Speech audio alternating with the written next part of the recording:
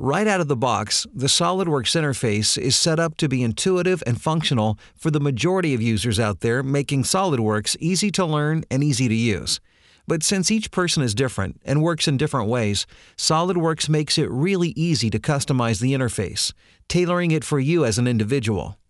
First of all, just about all of the elements in the interface can be repositioned anywhere on the screen. You can drag and drop the CommandManager or task pane anywhere on the screen, or even to another monitor if you have dual monitors. The Command Manager can be docked on the left, right or top of the screen. And you can redock the task pane with this icon here. By default, SOLIDWORKS shows you a text description of all of the tools on the toolbar. After you've been using SOLIDWORKS for just a little while, the icons become second nature, so you can save space by right-clicking and turning off the large buttons with text. Any toolbars you often use can easily be added by right-clicking anywhere on the toolbar and selecting the toolbar you want to add.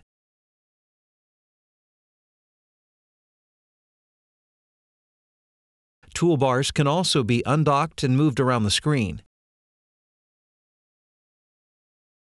If you add a few toolbars, you'll immediately notice that the interface that was once simple and clean starts getting cluttered with icons.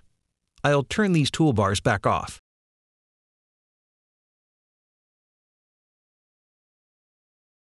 Instead of having a bunch of toolbars, the Command Manager's always been a great way to access the tools you need without having lots of icons showing all at once. You can show more Command Manager tabs by right-clicking a tab and making your selection giving you quick access to the tools you use the most. SOLIDWORKS also lets you customize what buttons and commands appear in each toolbar. If I switch to the Commands tab, SOLIDWORKS presents a list of every command in the software. I might want to add some other tools to the Sketch toolbar.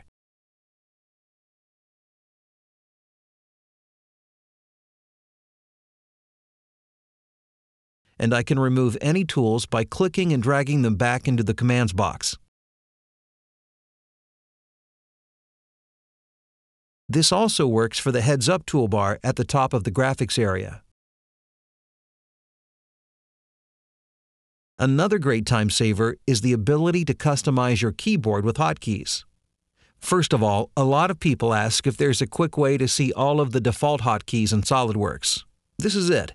If you click on the Shortcuts button, it sorts the list by commands that have hotkeys assigned. One shortcut I really like is to have the M key launch the Measure tool. You can add this hotkey or any other command simply by typing the function in the search box, and then typing in the hotkey you want. I also like having the P key switch to the previous view, so I'll quickly create a custom hotkey for that.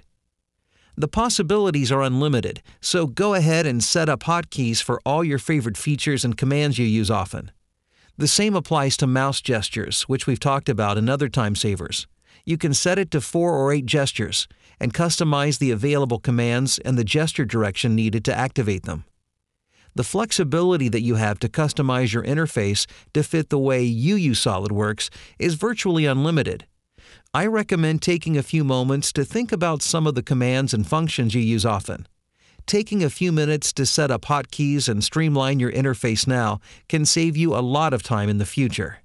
Thank you. This has been a SOLIDWORKS Time Saver.